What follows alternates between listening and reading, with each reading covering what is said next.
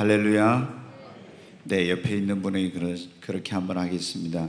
주님이 오늘 이곳에 우리와 함께 하십니다. 아멘. 네, 여러분에게 좋은 일이 있을 겁니다. 그리고 더 좋은 일이 기다리고 있습니다. 네, 우리 하나님의 말씀 신약 성경 마태복음 6장을 보겠습니다. 마태복음 6장 25절부터 33절까지 있는 말씀입니다.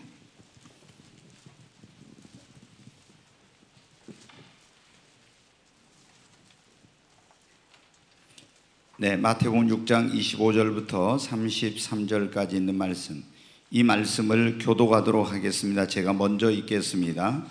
그러므로 내가 너희에게 이르노니 목숨을 위하여 무엇을 먹을까 무엇을 마실까 몸을 위하여 무엇을 입을까 염려하지 말라 목숨이 음식보다 중하지 아니하며 몸이 의복보다 중하지 아니하냐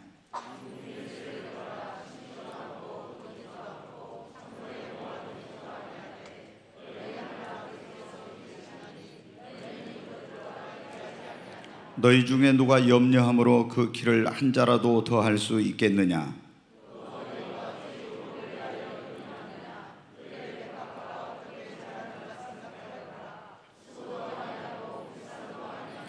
그러나 내가 너희에게 말하노니 솔로몬의 모든 영광으로도 입은 것이 이 꽃 하나만 갖지 못하였느니라.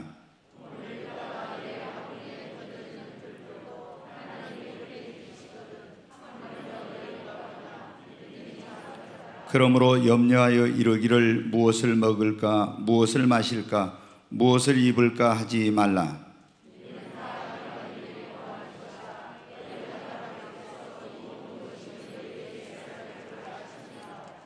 네, 33절 같이 읽겠습니다. 그런즉 너희는 먼저 그의 나라와 그의 의를 구하라.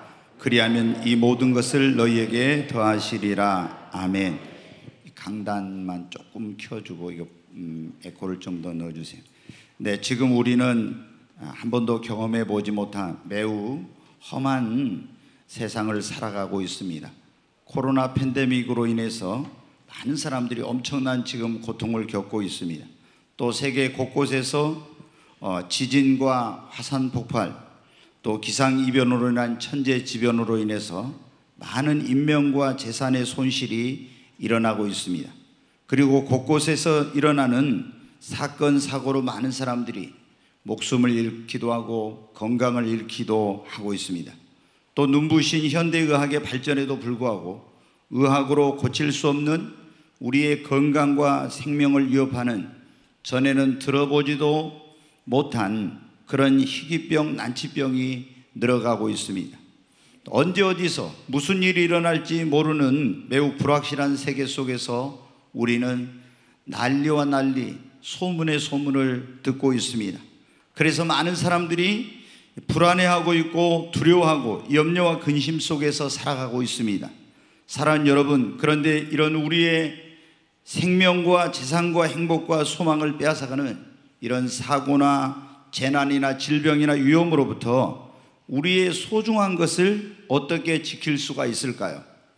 네, 코로나 백신을 맞으면 우리의 건강을 완전하게 지킬 수 있습니까? 이미 입증되었습니다. 백신을 맞아도 우리의 건강을 그것으로 완전하게 또 코로나로부터 지킬 수 없다는 것을 여러분 우리가 가정에 CCTV를 설치하면 우리 집안에 들어오는 모든 재난과 우한과 이런 것들을 다 막아낼 수 있습니까? 도둑으로부터 우리 가정을 지킬 수는 있을지 모르지만 집안에 들어오는 우환과 이런 재난은 막아줄 수 없는 것입니다. 여러분 생명보험을 들면은 그 보험이 우리의 생명을 보장해주고 상해보험에 들면 상해보험이 우리를 상해로부터 지켜줄 수 있습니까? 아닙니다. 현대 의학으로도 우리를 모든 질병으로부터 치료하고 거기에서 우리를 건져줄 수는 없는 것입니다. 과학이 천재지변으로부터 우리를 보호하지 못한다는 것을 입증이 되었습니다.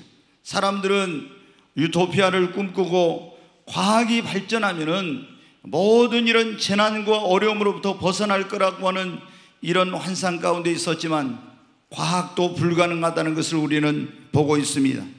국가의 사회 안전망이 잘 갖춰지면 우리의 미래는 염려하지 않아도 되고 그것이 우리를 지켜줄 수 있습니까? 여러분, 그렇지 않습니다. 오직 전능하신 하나님만이 우리의 건강과 생명과 가정, 그리고 자녀와 사업, 미래, 모든 것을 사고로부터, 질병으로부터, 재난으로부터, 위험으로부터 지켜줄 수가 있는 것입니다. 결혼하기 전에 여자가 사귀는 남자에게 가서 자기야, 결혼하면 내 인생을 책임져 줄 수 있어? 이렇게 물어봤어요. 그러면 보통 남자들이 뭐라고 해요? 아, 걱정하지 마. 내가 행복하게 할게. 내가 책임져 줄게. 예, 그렇게 거의가 대답을 하죠. 만약에 물어봤는데, 아, 나 책임 못 져. 이러면 그런 남자하고 결혼할 사람 어디 있겠어요? 근데 대부분의 남자들이 어때? 아, 내가 책임질 테니까 아무 걱정하지 말라고. 그러나 그 누구도 내 인생에 모든 것을 책임질 수 없어요. 나를 사랑하는 부모님도, 나를 아끼는 그런 어떤 친구도, 또 여러분, 내 사랑하는 자녀도 부모님의 노후를 책임질 수 없습니다. 오직 전능하신 하나님만이 우리의 모든 것을 책임져 주실 수가 있는 것입니다. 사랑하는 여러분, 오늘 본문의 말씀은 예수님을 믿고 하나님의 나라와 의를 위해서 살라고 예수님께서 하는데 의식주에 대한 문제, 무엇을 먹을까, 무엇을 입을까, 무엇을 마실까, 이런 것 때문에 머뭇거리고 망설이고 있는 그런 사람들을 향해서 예수님께서 전능하신 하나님께서 어떤 사람의 인생을 책임져 주시는가에 대해서 말씀해 주시는 그런 내용입니다. 여러분, 하나님은 어떤 분이십니까? 전능하신 하나님이십니다. 능치 못하심이 없는 하나님이십니다. 우주 만물을 주관하시는 하나님, 역사의 주관자 되시며 우리 인생의 알파와 오메가 되시는 하나님, 그분의 손에 여러분 모든 것이 있습니다. 성경에 본 그분에게 비와 어, 부와 귀와 건강과 능력과 지혜 이 모든 것이 하나님의 손에 달려 있습니다. 그분만이 우리 인생의 모든 것을 책임져 주실 수 있고 그리고 하나님은 그런 능력을 가지고 계십니다. 사랑하는 여러분, 그러면 하나님이 언제 우리의 모든 것을 책임져 주시는가 하는 것입니다. 여러분, 굉장히 힘있고 능력 있고 배경이 있는 그런 사람이 여러분에게 내가 너의 인생을, 너의 미래를, 내 가정을 내가 책임져 주겠어. 그러면 어떻게 돼요? 우리가 굉장히 권세 있고 돈 많고 힘 있고 능력 있는 사람이 그런 말을 들으면은 아 대단히 좀 우리 마음의 위로가 되고 안심이 되고 염려했던 그런 마음들이 많이 벗어지게 됩니다. 그러나 여러분 아무리 권세 있는 사람도 아무리 부한 사람도 아무리 능력 있는 사람도 우리를 천재지변이나 질병이나 사고나 재난이나 예기치 못한 이러한 것으로부터 우리를 지켜줄 수 있는 사람은 여러분 없습니다. 오직 전능하신 살아계신 하나님만이 우리를 이런 모든 위험으로부터 내 인생의 소중한 것을 위협하는 이런 모든 것으로부터 지켜주실 수 있는 분은 살아계신 하나님 한 분밖에 없는 것입니다. 여러분, 하나님께서 언제 그러면 우리의 모든 것, 우리 가정, 우리 사업, 우리의 자녀들, 나의 미래, 노후, 그리고 나의 건강, 또 내 앞길, 나의 관계된 모든 것들을 언제 하나님께서 이런 사고나 재난이나 질병이나 위험으로부터 우리를 주님이 하나님께서 지켜주시는 것입니까? 여러분, 우리가 하나님의 자녀가 될 때 하나님께서 여러분의 모든 것을 책임져 주시는 것입니다. 능력 있는 아버지는 자녀의 모든 것을 책임지려고 합니다. 그렇잖아요. 태어날 때부터 그 자녀를 위해 모든 걸 준비하고 이 자녀의 미래를 위해서 그 부모로서의 책임을 다하려고 하는 것입니다. 자기가 할 수 있는 모든 능력과 그런 것을 가지고 그 자녀를 책임을 지려고 하는 것입니다. 그러나 여러분, 우리 육신의 부모님은 그렇게 할지라도 모든 것을 책임져 주실 수는 없는 것입니다. 그런데 전능하신 하나님께서 언제 우리의 인생, 우리의 미래, 우리의 가정, 우리 모든 것들을 하나님이 책임져 주십니까? 우리가 하나님의 자녀가 될 때입니다. 마태복음 6장 25절. 같이 한번 다시 읽습니다. 그러므로 내가 너희에게 이르노니 목숨을 위하여 무엇을 먹을까? 무엇을 마실까? 몸을 위하여 무엇을 입을까? 염려하지 말라. 목숨이 음식보다 중하지 아니하며 몸이 의복보다 중하지 아니하냐? 계속 보겠어요. 공중의 새를 보라 심지도 않고 거두지도 않고 창고에 모아 들이지도 아니하되 너희 하늘 아버지께서 기르시나니 너희는 이것들보다 귀하지 아니하냐? 여기 보면 너희는 무엇을 먹을까, 무엇을 마실까, 무엇을 입을까 염려하지 말아겠죠. 그러면서 너희들 저 공중에 날아가는 새를 봐봐. 심지도 않고 거두지도 않고 창고에 모아들이지도 않는데 너희 하늘 아버지께서 하늘에 계신 우리 아버지께서 기르시니까 아무것도 그것들 부족한 것이 없지 않냐. 하물며 하나님의 자녀인 너희는 이것들보다 얼마나 귀한데 하나님이 너희들을 책임져 주시지 않겠느냐? 너희들을 돌봐주시지 않겠느냐? 예수님이 그런 말씀이에요. 여러분, 우리가 하나님의 자녀가 되기만 하면 하나님께서 나의 모든 것을 하나님이 책임져 주시는 것입니다. 여러분, 많은 사람들이 교회를 다니고 예수님을 믿으면서도요, 우리가 하나님의 자녀가 된다는 것이 얼마나 놀라운 것인지 그런 것들을 실감을 하지 못하고 얼마나 그게 감격스러운 것인지를 생각을 못하고 그냥 믿음 가졌으니까 나는 그냥 하나님의 자녀가 되었으니까 이러면서 신앙생활한 사람들이 얼마나 많은지 몰라요.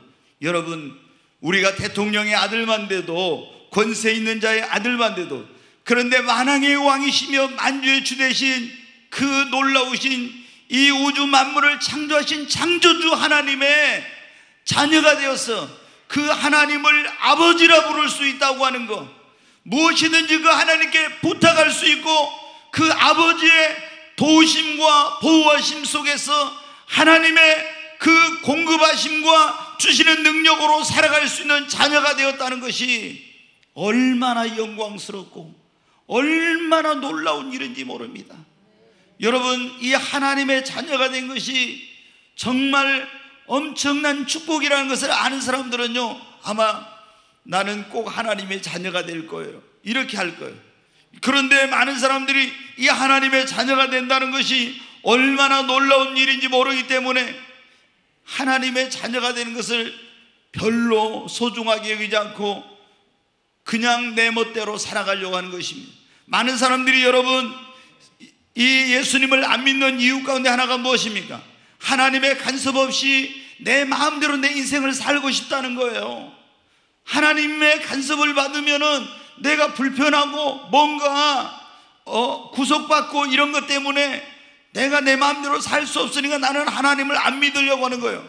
근데 성경에 예수님께서 뭐라 했어요? 진리를 알지니 진리가 너희를 자유케 하리라.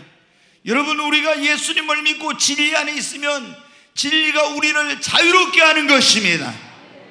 여러분, 하나님의 자녀가 되는 것은 작은 일이 아닙니다. 정말 놀라운 일인 것입니다. 오늘 이 자리에 오신 여러분, 한 분도 빠짐없이 다 여러분 하나님의 자녀가 되시기를 바랍니다. 하나님의 자녀가 되면 지금부터 영원까지 여러분의 출입을 하나님이 지켜주시고 졸리도 주무시도 않고 지켜주시고 여러분의 모든 것을 하나님이 책임져 주시는 것입니다.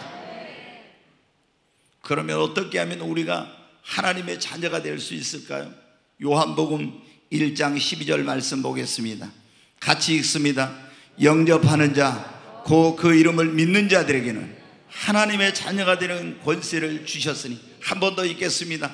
영접하는 자, 고 그 이름을 믿는 자들에게는 하나님의 자녀가 되는 권세를 주셨으니 영접하는 자, 그, 그 이름을 믿는 자들에게 하나님의 되는 권세를 주셨다. 영접이라는 게 뭡니까? 바로 2000년 전에 하나님의 아들인 예수님께서 마귀의 자녀로 마귀의 종로로 닫은 우리를 구원하여서 하나님의 자녀 삼아 주시려고 이 세상에 육신을 입고 오셨어요. 그리고 그분이 우리 모든 죄를 짊어지고 십자가에 피 흘려 죽으시고 죽은 자 가운데 사흘 만에 부활하셔서 우리 죄의 문제를 해결해 주셨어요. 그 우리를 구원하기 위해서 자녀 삼기 위해서 오신 그 예수님 하나님의 아들 예수님을 우리가 마음의 문을 활짝 열고 예수님 내 마음 속에 구원자로 내 삶의 주인으로 들어오세요. 이렇게 예수님을 영접하고 그 이름 예수 구원자 이름을 믿는 자들에게는 하나님의 자녀가 되는 권세를 주신 것입니다. 여러분 오늘 아직 하나님의 자녀가 되지 않는 그런 분들이 있다면 여러분의 마음의 문을 여시기 바랍니다. 전에도 제가 말씀드렸죠. 우리 마음의 문은 밖에서 열 수가 없어요. 밖에는 손잡이가 없어. 내가 안에서 마음의 문을 여는 거예요. 문을 열고 영접한다는 건 뭡니까? 그분을 모셔드리는 겁니다. 예수님 내 안에 들어오세요. 그분을 환영하고 초청하는 겁니다. 그러면 예수님이 그 예수님을 나의 구원자와 나의 주인으로 영접하면 주님은 우리 안에 들어오시는 것입니다. 그러면 죄업물로 죽었던 우리는 살게 되고 우리 이름이 생명책에 기록되고 마귀의 자녀였던 우리는 하나님의 자녀가 되는 것입니다. 그래서 영접하는 자, 그 이름을 믿는 자들에게는 하나님의 자녀가 되는 권세를 주었으니 여러분이 오늘 예수님을 믿고 예수 그리스도 그 이름을 믿으면은 영접하면 여러분은 하나님의 자녀가 되고 하나님께서 여러분의 모든 것을 자녀된 여러분을 책임져 주시는 것입니다. 얼마나 영광스러운 것입니까? 우리가 예수님을 영접하면 하나님은 나의 아버지가 되시고 나는 그의 자녀가 되는 것입니다. 아멘. 아, 이 놀라운 축복. 나는 이걸 모르니까 많은 사람들이 예수님 믿으세요. 그러면요. 아, 이게 하나님의 자녀가 되고 이게 얼마나 놀라운지를 모르니까 나 안 믿어. 당신 안 믿어. 막 이런 거예요. 여러분, 정말 우리가 하나님의 자녀가 되는 것은 특권 중에 특권이에요. 그래서 뭐라 했어요? 영접하는 자 그 이름을 믿는 자들에게는 하나님의 자녀가 되는 권세를 주셨습니다. 오늘 이 자리에 오신 여러분 다 여러분의 마음의 문을 활짝 여시고 마음의 빗장을 벗기시고 마음으로 활짝 열어서 예수님을 여러분의 구원자와 주님으로 영접하시기 바랍니다.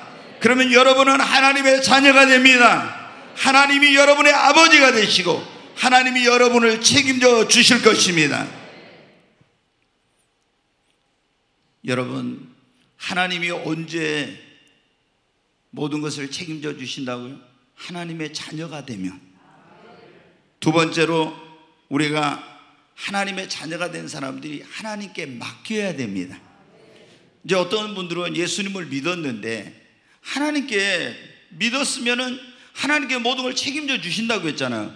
그러면 내 앞길도 내 가정도 내 자녀들도 나의 사업도 모든 것 다 다 주님께 맡겨야 돼. 근데 예수님을 믿고 나서 안 맡기고 있잖아요. 내가 내 힘으로 능력으로 내 자녀를 어떻게 해보려고 내 사업을 어떻게 하려고 내 가정을 어떻게 하려고 이러면서 있잖아요. 하나님께 안 맡겨.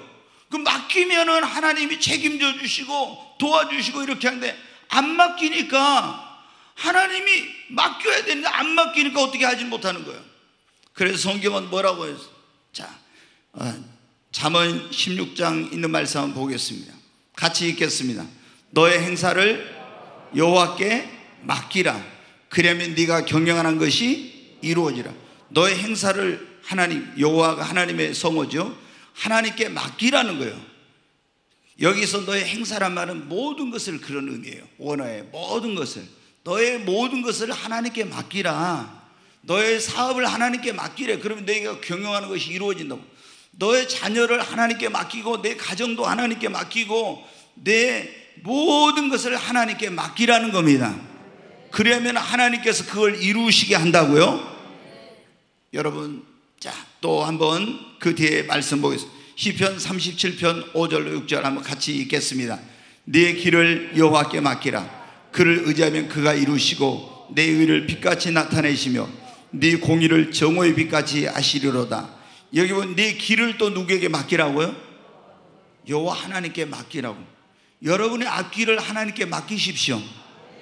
그리고 그를 의지하면 그분이 여러분을 인도해 주시고 여러분의 꿈과 소원을 이루어 주시고 여러분의 일을 빛같이 나타내시며 여러분의 공의를 정오의 빛같이 해 주실 것입니다. 우리가 나의 하고자 하는 일뿐만 아니라 나의 앞길도 주님 손에 맡겨야 됩니다. 그러면 하나님이 인도해 주셔요. 아멘.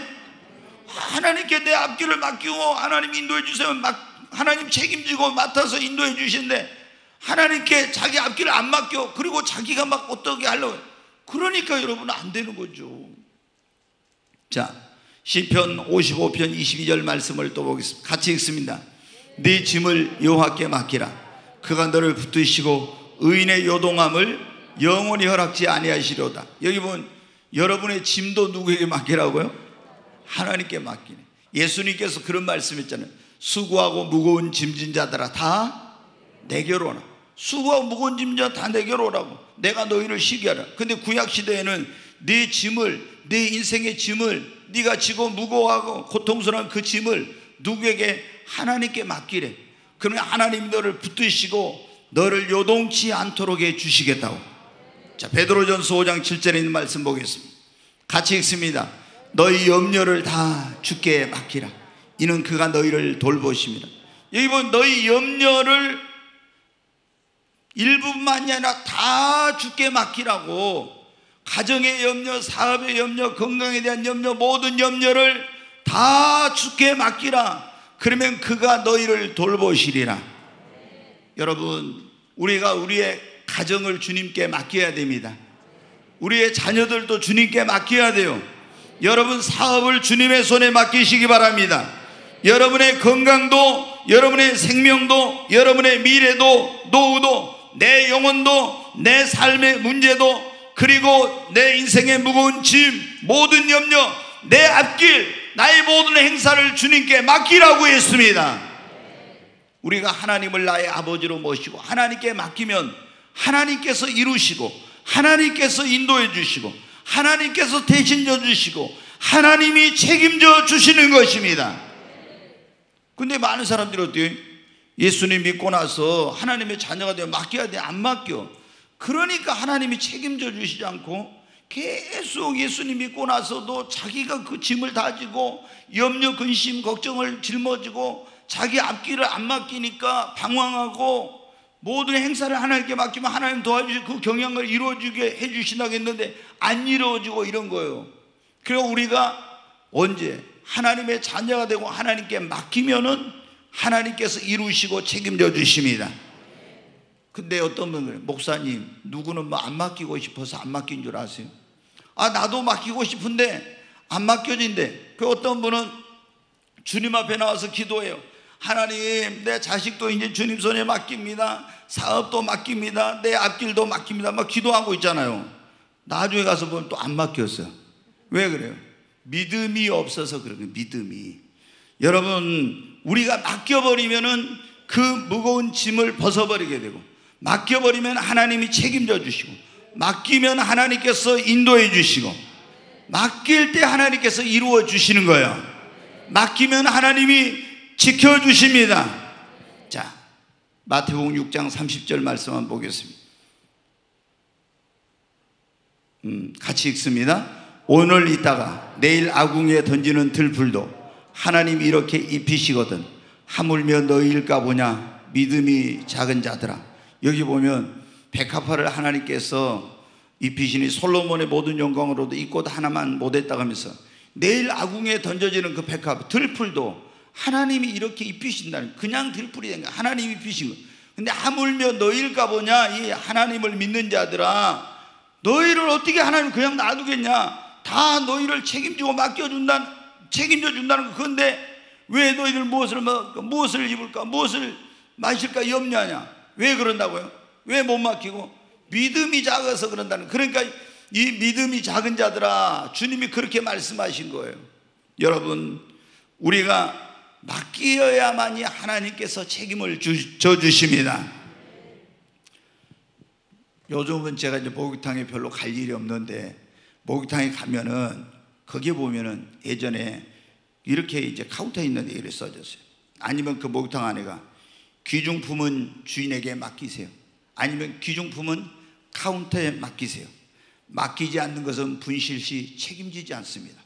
그러면요, 요즘은 이제 CCTV나 TV나 이런 거잘돼 있으면 옛날에 귀중품을 주인에게 안 맡겨가지고 있잖아요. 카운터에 안 맡겨서 분실해가지고 난리가 난 일들이 있었죠. 대부분이 지갑에다 뭐 귀중품을 넣어가지고 가면 어떻게 돼요? 귀중품은 주인에게 맡기세요. 분실 시 맡기지 않는 것은 책임지지 않습니다. 하니까 그걸 보고 어떻게 돼요? 주인의 말을 믿고 있잖아요. 그 글씨를 믿고 가서 자기의 소중한 것을 맡겨요. 맡기면은 이 사람이 책임지고 지켜줄 것이다. 이게 믿음이 있으니까. 여러분, 그런데 하나님께서 뭐라고 했습니까? 여러분의 인생의 소중한 것들, 여러분의 가정, 자녀들, 사업, 건강, 미래 이런 것을 하나님이 뭐라고 했어요? 내 모든 행사를 여호와께 맡기라 그랬잖아요. 내 길을 여호와께 맡기라겠죠. 내 짐을 여호와께 맡기라. 내 모든 염려를 주께 맡기라. 맡기면 하나님께서 하냐면 책임져 주신다고. 근데 어떤 분들은 목욕탕에 써놓은 카운터에 써놓은 그 말은 믿고 맡기면서 있잖아요. 이 전지전능하신 하나님의 말씀.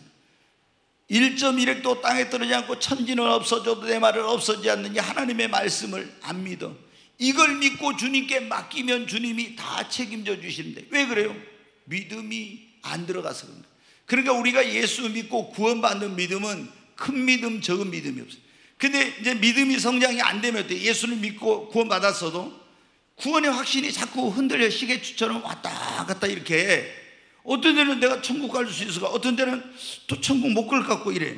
근데 그 믿음이 성장하면 어떻게 아 나는 내가 진짜 죽으면 천국 갈까? 혹시 또 천국 못 가는가? 이런 게 없어져요. 나는 무조건 구원 믿음이 성장하면 확신이 딱 생겨. 그리고 어떻게 돼요? 전에는 하나님께 못 맡겼었는데 아, 믿음이 성장하니까 내가 해봐야 안 되더라. 하나님께 맡기면은 하나님이 다 책임져 주시더라. 그걸 아니까 여러분 어떻게 돼요? 하나님께 아무 걱정 안 하고 맡기는 거예요. 여러분, 구원 받으셨습니까? 하나님의 자녀가 되었어요? 그러면 여러분의 믿음을 성장시켜 주십시오. 그리고 믿음으로 하나님께 맡기시기 바랍니다. 그러면 하나님이 책임져 주세요. 언제 하나님께서 우리의 모든 걸 책임져 주시냐?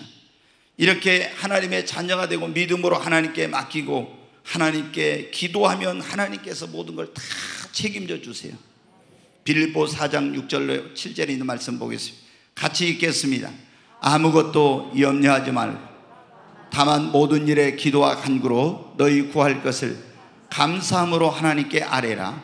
그리하면 모든 지각에 뛰어난 하나님의 평강이 그리스도 예수 안에서 너희 마음과 생각을 지키시리라. 이 사도 바울이 빌보에 있는 교회 성도들에게 편지를 보냈어요. 근데 그들이 지금 어떤 일로 인해서 있잖아요. 막 어떤 사람 사업 문제, 어떤 사람 자녀 문제, 어떤 사람 뭐 여러 가지 이런 거로 해가지고 막 염려하고 있다는 소식을 들었어요. 그래서 사도 바울이 감옥에서 편지를 썼어요. 아무것도 염려하지 말고 다만 모든 일에 기도와 구할 강구로 너희 구할 것을 하나님께 감사함으로 아뢰고 맡겨버리라. 그리하면 하나, 모든 지각에 뛰어난 하나님의 평강이 너희 마음과 생각을 지키시리라. 여러분, 우리가 살아가다 보면 뭐 염려, 근심, 걱정거리도 생길 때 있죠. 어, 그런데 그런 모든 것들을 여러분 어떻게 돼? 하나님께 믿음으로 다 맡기십시오. 여러분의 자녀들, 여러분의 가정, 여러분의 사업, 여러분의 미래 이런 모든 것들을 믿음으로 하나님께 맡기고 하나님께 기도하는 것입니다. 그러면은 하나님께서 다 책임져 주세요. 아멘. 저는 이제 자녀가 한 명밖에 없지만은 제 능력으로는 제가 이 아이를 뭐 유학을 보내거나 어디 하거나 할 이런 능력이 없었어요. 왜? 내가 꼭 지금은 이제 좀 더 제가 사례비를 받지만 예전에 한 달을 그냥 딱 먹고 살 만큼만 사례비를 받으니까 무슨 여유가 있어요. 어디 제가 어렸을 때 무슨 메이커 신발, 메이커 옷 한 번 사준 적이 없어요. 왜? 어, 뭐 여유롭지 못하게 제가 사니까. 그런데 하나님께 기도하니까 하나님께서 다 그 길들을 열어주시고 인도해 주시고 하나님께서 책임져 주시고 그래서 하나님이 어떻게 제가 보면 이제 일반 대학 나오고 신학 대학원 석사 목회학 석사 과정하고 또 성교학 석사하고 목회학 박사하고 또 박사하고 이렇게 어떻게 제가 해요? 제가 할 수 있는 그런 능력이 없어요. 하나님께 기도하니까 하나님께서 책임져 주시고 하나님께서 그런 길을 열어 주시고 인도해 주시는 여러분 우리가 여러분의 가정, 여러분의 자녀들, 여러분의 사업, 여러분의 미래, 여러분의 삶에 관계된 모든 것들을 주님께 믿음으로 맡기십시오. 그리고 염려하지 말고 하나님께 기도하시기 바랍니다. 하나님이 책임져 주세요. 가장 비생산적인 게 뭐냐면요. 염려라는 거예요. 그래서 아무것도 염려하지 마. 염려해봐야 아무것도 나에게 좋은 게 없어요. 염려는 우리의 건강과 정신 건강과 이런 모든 것에 해로울 뿐이야. 염려는 우리에게 아무 유익이 없고 비생산적이야. 그 염려할 시간에 우리는 어떻게 하나님께 기도하는 것입니다. 여러분 오늘 말씀은 아무것도 염려하지 말고 오직 모든 일에 기도와 간구로 기도와 간구 기도하고 간구는 더 간절한 기도죠. 너희 구할 것을 감사함으로 하나님께 하려고 맡기라겠죠. 그러면 모든 지각에 뛰어난 하나님의 평강이 너희 마음과 생각을 지키시리라. 어떨 때 여러분이 막 앞에 문제가 생기고 굉장히 어려운 일이 있어요. 그러면 어떻게 합니까? 주님 앞에 그걸 맡기고 기도하시기 바랍니다. 그러면은 계속 기도하면요. 막 어떨 때는 그 내가 처한 상황이나 환경이나 문제나 이런 거, 뭐 이런 것 때문에 굉장히 두려운 마음이 생기고 염려가 앞설 때가 있어요. 근데 하나님께 나와서 계속 기도하면 주님께 맡기고 기도하면 어느 순간 뭐예요? 모든 지각에 뛰어난 하나님의 평강이 우리 마음과 생각을 가득 채워버립니다. 그리고 지금 환경이나 상황을 볼 때는 염려하고 걱정해야 되는데 아무 염려, 걱정, 근심이 사라지고 내 마음 속에 하나님의 평강이 가득 차면서 하나님이 지켜주시겠구나, 하나님이 해결해 주시겠구나, 이런 확신이 생기는 것입니다. 여러분, 우리가 잘 아는 다니엘은 바벨론이라는 세계의 강대국, 최고의 그때 강대국이죠. 그 나라에 멸망을 해가지고 포로로 끌려갔어요. 여러분, 자신의 미래가 불확실합니다. 부모 형제와 뿔뿔이 흩어지고 아무도 그 인생을 책임져주고 도와줄 사람이 없는 거예요. 그런데 다니엘은 어떻게 자신의 앞길과 인생을 하나님께 맡겼어요. 그리고 하나님께 간절히 기도했어. 하루에 세 번씩 시간을 정해놓고. 그랬더니 아무도 그 인생을 책임져 줄 수 없는 그런 정말 포로로 끌려간 이국 땅에서 하나님께 맡기고 기도했더니 하나님께서 책임져 주시고 길을 열어 주신 거예요. 여러분, 여러분도 누구도 도와줄 사람이 없다고 실망할 필요 없어요. 하나님이 우리의 힘이요 능력이십니다. 하나님이 우리의 아버지십니다. 그 전능하신 하나님 아버지께 맡기고 기도하시기 바랍니다. 하나님이 그러면 여러분을 책임져 주실 것입니다. 히스기야 왕도 여러분 보면 그런 성경에 병이 들어가지고 의학으로 고칠 수 없는 그런 이제 죽을 병이 들어요. 근데 하나님께 어떻게 돼요? 자기의 생명을 주님의 손에 맡겼어요. 그리고 하나님께 눈물로 간절히 기도했을 때 어떻게 하나님께서 3일 만에 치료해가지고 성전에 올라가게 하고 15년간 생명을 연장시켜 주셨어요.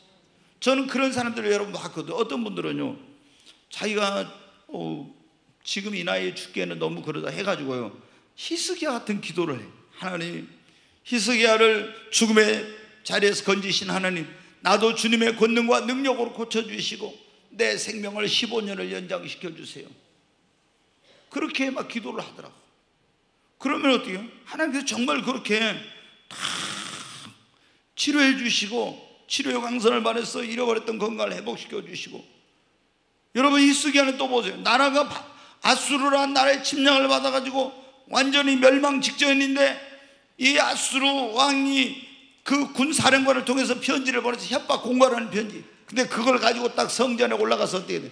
하나님 앞에 펼쳐놓고 하나님 보십시오. 이렇게 협박 공갈하면서 하나님을 모독하고 있습니다. 하나님, 하나님의 손에 이 나라의 운명을 맡기오니 주님께서 도와주시고 역사해 주시고 이 나라를 책임져 주세요. 그랬더니 하나님이 어떻게? 천사를 보내가지고 아수르 군대 18만 5천 명을 싹 다 죽여버리고 그 아수랑 사내립이 자기 고향으로 돌아가게 다른데 전쟁을 일으켜 돌아가게 가지고 자기 두 아들들의 칼에 찔려서 죽게 만들었어요. 하나님이 어떻게 그 나라를 책임져 지켜 주셨습니까? 하나님의 손에 맡기고 기도할 때 여러분 우리가 아무도 나를 도와줄 수 없을 때 동서남북 모든 길이 막혀도 하늘로 통한 길은 열려 있는 것입니다. 하나님께 맡기고 우리가 기도와 간구로 하나님께 아뢰면은 하나님이 지켜주시고 책임져 주시고 하나님의 평강이 우리 마음과 삶을 지배하게 해 주시는 것입니다. 오늘 하나님께서 우리에게 주신 말씀이 그거예요. 하나님이 언제 우리의 모든 걸 책임져 주시냐 하는 거예요. 첫째는 우리가 하나님의 자녀가 되고 두 번째 하나님께 맡기고 세 번째 기도하면 그리고 한번 따라서 하겠습니다. 하나님의 말씀과 성령의 인도를 따를 때 다시 한번 크게 합니다. 하나님의 말씀과 성령의 인도를 따를 때 여러분 우리가요 하나님의 말씀과 성령의 인도를 따라가면 하나님께서 모든 걸 책임져 주십니다. 네. 아브라함에게 하나님 그렇게 말씀하셨어요. 네 본토와 친척과 아버지 집을 떠나서 내가 너에게 지시하는 곳으로 가라. 그러면은 내가 너로 큰 민족을 이루게 하겠고 네 이름을 장대케 하겠고 너는 복의 근원이 될지라. 근데 성경에 보면 아브라함은 어떻게 돼요? 갈 바를 알지 못했지만 하나님의 말씀에 순종하여 갔어요. 그랬더니 하나님께서 어떻게 돼요? 가나안 땅 아무도 아는 사람이 없는데요. 갈대아 우르 고국을 떠나서 이국 땅으로 이제 이민을 간 거 이민을 아무도 한 사람도 아는 사람도 없고 유대인이 또 있는 것도 아니에요 거기는 우리가 예를 들어서 미국으로 이민을 갈 수도 있어요 그러나 한국에 한국 사람들이 미국에 어때요? 많이 있잖아요 뭐 200만이라고 하는가 100만 200만 이렇게 많이 있지 않습니까? 근데 우리가 이제 디아스포라가 지금 해외에 수백만 명이 700만 명인가 지금 이렇게 많이 있는데 여러분 어때요? 근데 거기 가면 미국 땅에 어디 웬만한 데 가면 한국 사람 있잖아요. 근데 아브라함은 본토 친척 아버지 집을 떠나서 가나안 땅에 갔을 때 아무도 아는 사람 없어. 그러면 여러분 삶의 도전을 버리고 부모, 형제, 친척, 친구들을 다 떠나서 가나안 땅으로 왔는데 누가 그 인생을 책임져 줘요? 근데 하나님께서 뭐라고 말씀? 네 본토 친척 아버지 집을 떠나서 내가 너희 지시하는 곳으로 가라. 그래야면 내가 너희 인생의 모든 걸 책임져 주겠어. 그 말씀을 믿고 하나님의 말씀에 순종하여서 갈 바를 알지 못했지만 말씀에 순종하여 갔을 때 하나님께서 모든 것을 책임져 주셨어요. 여러분 이스라엘 백성들이 애굽에서 종살이 하다가 하나님이 모세를 보내서 그들을 구원해 주셨습니다. 구원받아 가지고 나오는데 홍해 바다를 건너서 이제 광야로 나왔어요. 광야는 여러분 어때?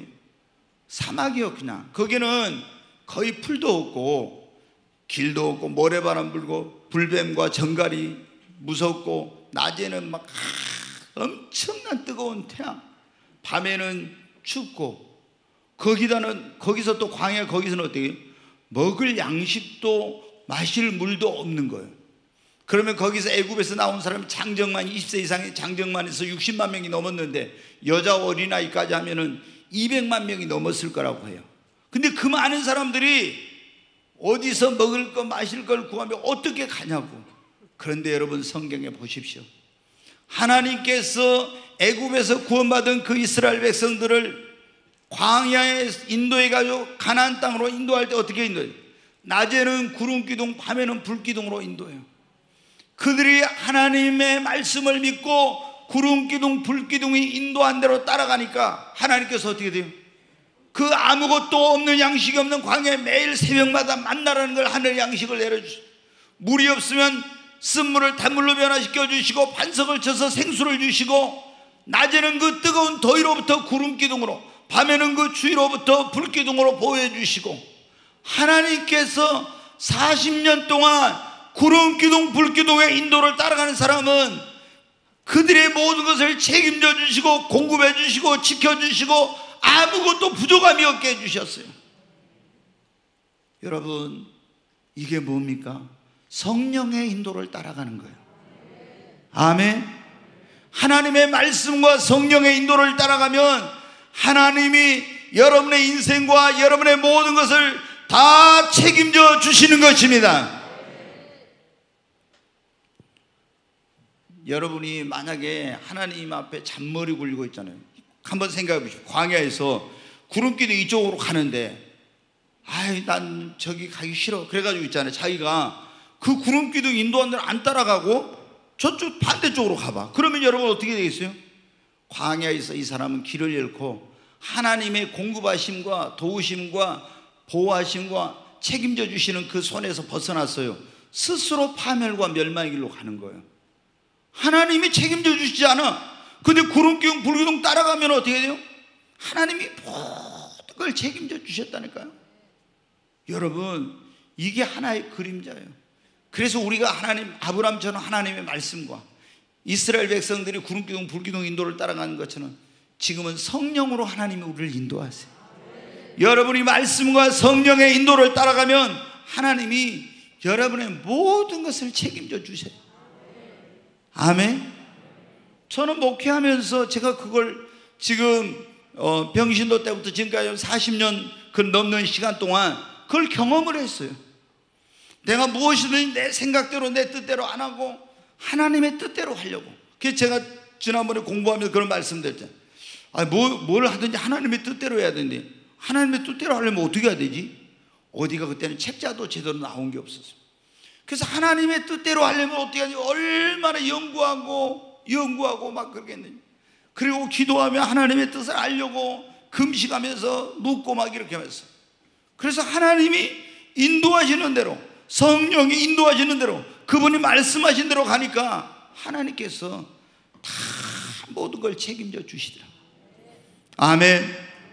여러분 하나님의 말씀을 불순종 성령의 인도를 따르지 않으면요 하나님이 여러분 책임져 주지 않아요.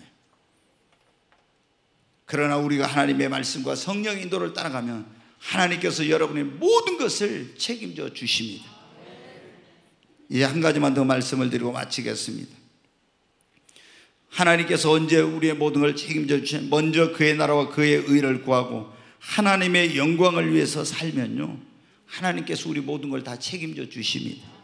자 마태복음 6장 33절 31절부터 한번 보겠습니다. 네. 같이 읽습니다. 그러므로 염려하여 이르기를 무엇을 먹을까 무엇을 마실까 무엇을 입을까 하지 말라.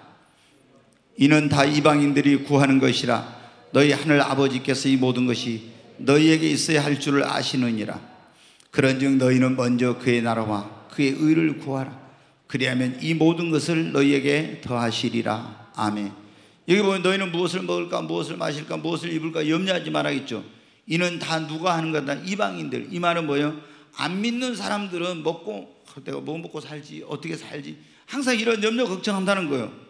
그러나 하나님의 자녀된 너희, 예수님을 믿고 하나님의 자녀된 너희들은 뭘 먹을까, 뭐를 입을까, 무엇을 마실까 이거 걱정하지 말, 의식주 걱정하지 말래. 그리고 너희가 먼저 그의 나라와 의를 구하면 하나님께서 이 모든 것을 다 책임져 주신다고.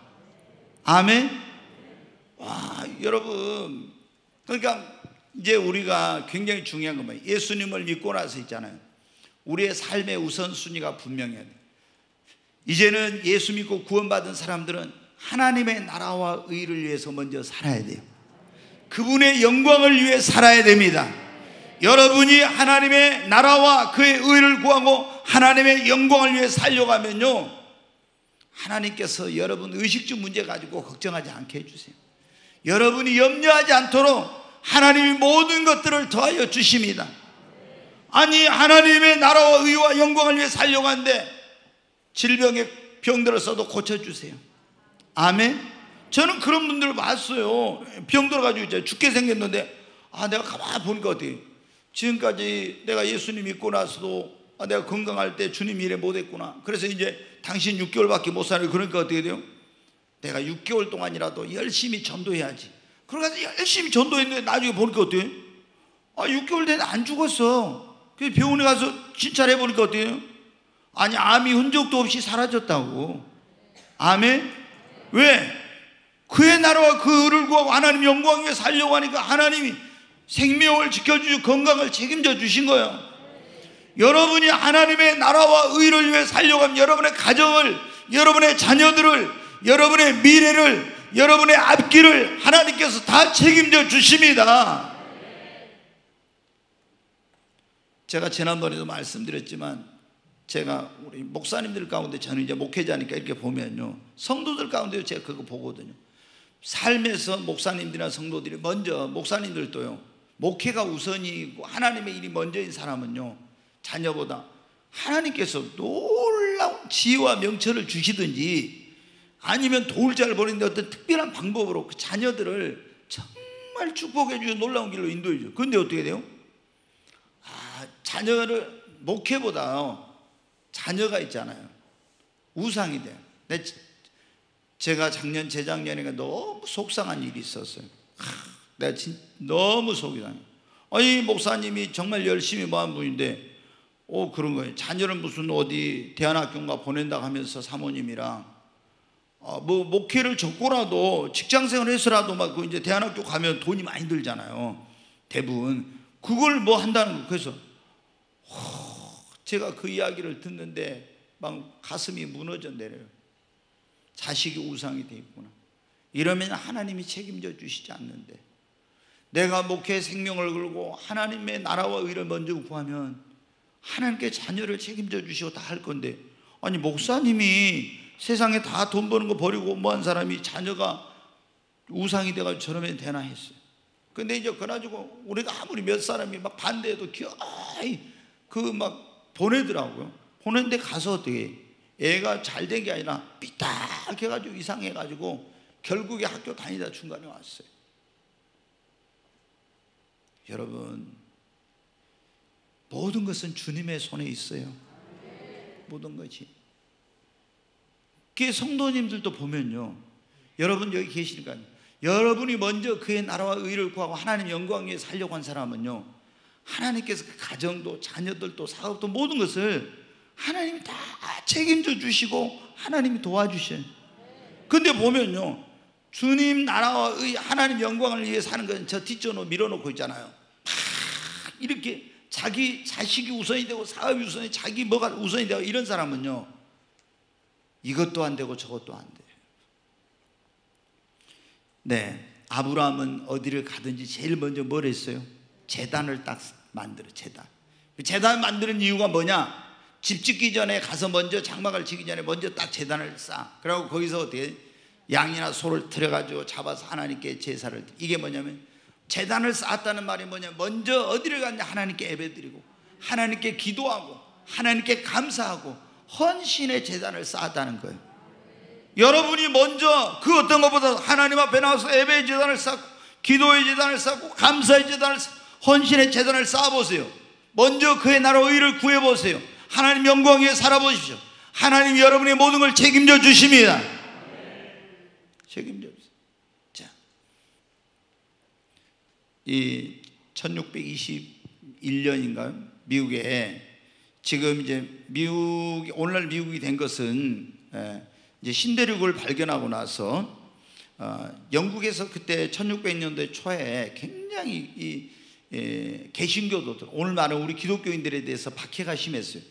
예, 그래서 이제 소수의 개신교인들이 우리가 신앙의 자유를 찾아서 우리 후손에게 그 신앙의 유산을 물려주고 하나님을 섬기는 그런 일을 하도록 해야 되겠다 했고 예, 신대륙인 이제 아메리카 지금 미국으로 이주를 하기로 했어요.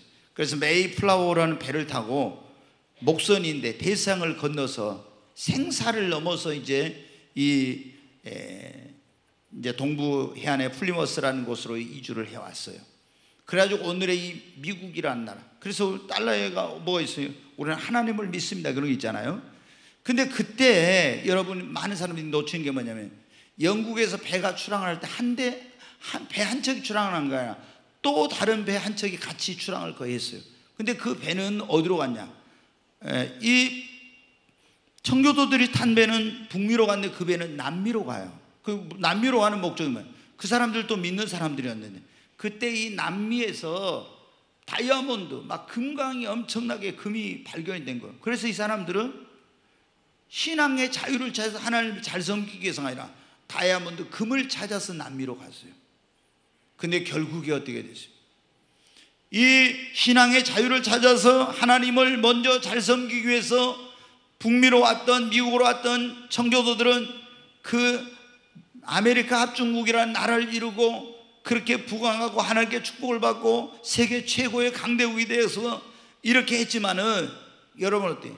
남미로 다이아몬드를 찾아서 금을 찾아 갔던 그들은 신앙도 돈도 다 모든 것을 잃어버렸어요. 왜? 하나님이 책임져 주시지 않으니까.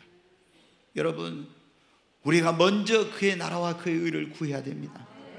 여러분의 삶에 신앙이 우선이 되십시오. 하나님의 나라와 의를 먼저 구하십시오. 그분의 영광을 위해서 먼저 사십시오. 그러면 하나님께서 여러분의 모든 것을 다 책임져 주세요. 저는 목회하면서 제가 막 너무 답답할 때가 있어요. 아니, 먼저 그의 나라와 의를 구하고 하나님 영광에 살면 하나님께서 이 모든 것을 더해 주시고 구하지 않는 것까지 더해 주시고 다 책임져 주신다고 했는데 왜 왜? 하나님 나라와 의보다도 다른 것을 먼저 구하고 하나님 나라의 영광을 위해 사는 것보다 물질이 우상이 되고 자식이 우상이 되고 세상의 명예와 성공이 우상이 되고 이렇게 가니까 하나님이 책임져 주시지 않는 거예요. 여러분, 오늘 우리가 그런 말씀, 예수님께서 지금 제자들과 그 많은 무리에게 산상순의 일부분인데 오늘 말씀이 많은 사람들이 왔어요. 그런데 이 사람들이 어떻게 막 유대인들이 예수 믿는 사람 박해하고 이럴 때니까 어, 우리가 하나님 믿고 예수님 따라가면 우리 인생이 어떻게 될까? 먹고 마시고 입고 이런 거 제대로 먹고 살긴 할까? 이런 걱정을 하고 있는 거야. 그러니까 예수님이 뭐라고 요 너희가 하나님의 자녀가 되면 저 공중에 날아가는 새도 먹이고 저 들의 백합화도 비는데 하물며 하나님의 자녀인 너희들 하나님 그냥 버려둘 것 같으냐? 하나님 책임져 주니까 걱정하지 마. 아멘. 하나님께 맡겨. 아멘. 여러분 하나님의 무엇보다도 중요한 것은 자녀가 되는 거예요. 오늘 이 자리에 오신 분 한 분도 그냥 왔다 그냥 가는 사람이 있으면 다 여러분의 마음의 문을 열고 예수님을 여러분의 구원자와 주님으로 영접하십시오. 영접하는 자 그 이름을 믿는 자들에게 하나님의 자녀가 되는 권세를 주셨다 했잖아요. 여러분 하나님의 자녀가 되면 하나님 여러분을 그때부터 책임지시기 시작해요.